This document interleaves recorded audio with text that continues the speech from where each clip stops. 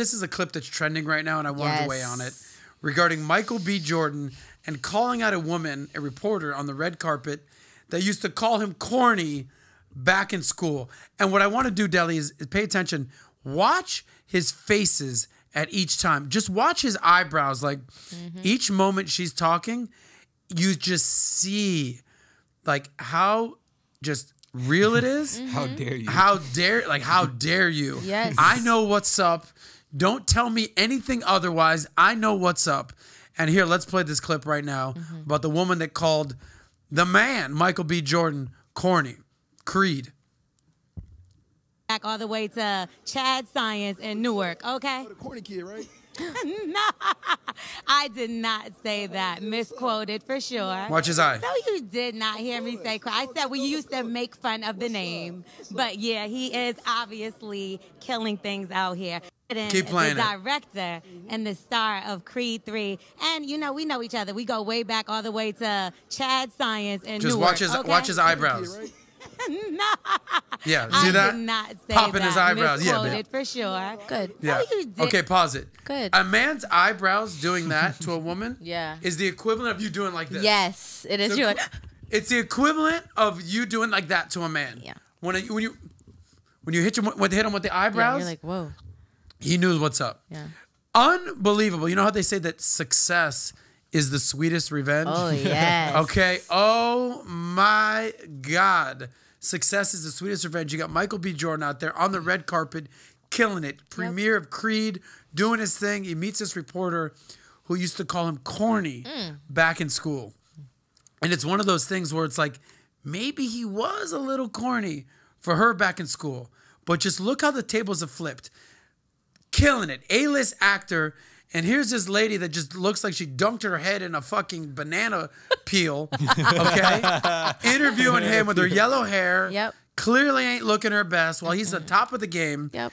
And it's like, it makes me, it makes me basically say to you young guys out there, you may not be the shit right now. You may not be on your A game right now. Give it time. Yep. Give it five years. Give it 10 years. Next thing you know, you're freaking Michael B. Jordan out there at your premiere. Mm-hmm. Your time is coming. Yes. Yes. But that's if you put in the work. Oh, you better You put in the better work. Put in the work for sure.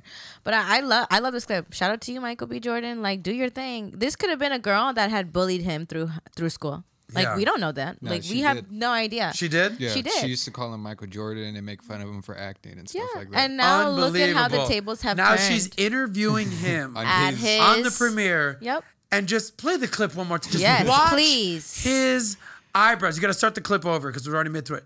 Watch his eyebrows. This is like the telltale. Like he's just refresh. Yeah. Just the, it's all in the eyebrows. He's Yep. basically just taunting her with the eyebrows because he know. Look at this clown right there with the yellow hair and the glasses. and the star Started of over- Creed yeah. 3. And you know, we know each other. We go way back all the way to Chad Science in Newark, Oh okay? yeah. Oh yeah. Oh yeah. I remember you. I'm the corny kid, right? I did Yeah, not say that. pop. Misquoted for sure. No, I you heard did it. not hear me say. I said we used to make fun of the name, but yeah, Yeah, he what's is up? What's up? obviously mm-hmm. Yeah. killing things out here. Good. And here's what's di- going. You Good want to know for what's you, going Michael on? in B. it? Jordan. Good for you. Here's what's going on in his head, by the way. You know what's going on in his head? What?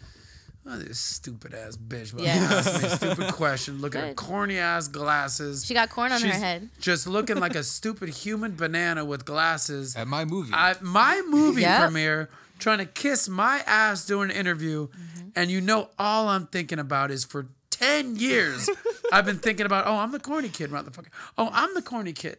I'm the corny one pursuing my dreams. Mm-hmm. Oh, I'm the corny guy that has a vision. Oh, I'm the corny guy that has a that that is that is going after it, is getting after it. I'm the corny one? Mm-hmm. Oh, really? Yep. Okay. Watch me eyebrow pop you right in the face. Yeah, as he should though. As he should. Like I I can imagine what a what a how the tables have turned. You Yeah. know, uh, for him in that situation to like, I think that could have been even like a a check of like your success. Like, wow, look at how far I've come. Yep. You know, being made fun of growing up to do what I love to do, and now look at me today. You know, my bully is now somebody who's admiring my success. Ah. she also did something else too. Yeah. uh, Turn your podcast. haters into It's your a- appreciators. Absolutely, and he There did exactly that. And I give you a lot of props because you Yeah. don't have to be disrespectful. You don't have to curse her out. You don't have to, you know, make her look ridiculous because this whole situation, she looks ridiculous by herself. She looks ridiculous trying to cover up the fact that she had done those things in the past. Yeah, and audio did leak. She did say this. yeah. Yeah, she did. have she made a comment about him, like, um, like she made fun of his past relationship. Mm. That oh, remember the girl you took to the aquarium that you rented out? Now a year later, she's with somebody else. So she used to make fun of that a lot. Wow, it's such Oh, a wow. shame. Yeah. Such a shame. And there's even people reacting. I think Joe Budden Yeah. reacted to this clip.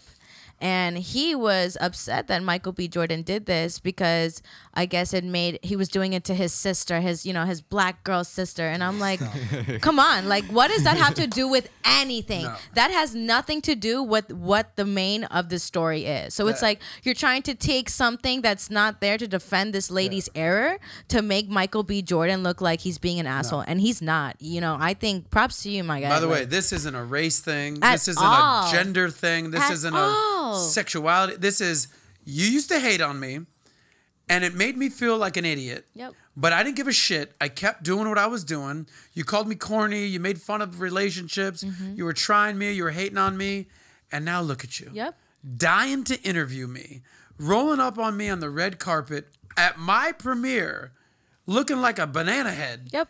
And now you want me to like treat you with grace and respect, which I will. Yep. But I will subtly let you know. Oh, I'm the corny guy, motherfucker.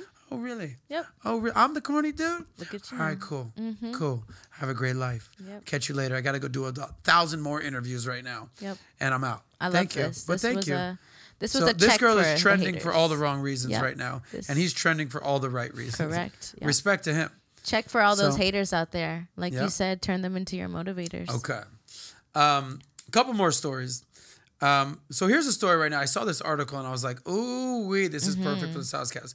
So if you want more women and more success in your life, this is what you must accept as the tough truth. So here's a whole article right now.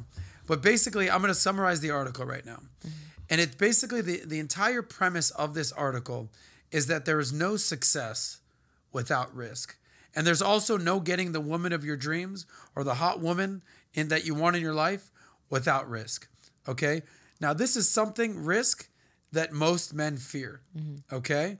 You can't get women without risk or there's no success without risk. Just remember this. Your comfort zone will kill you.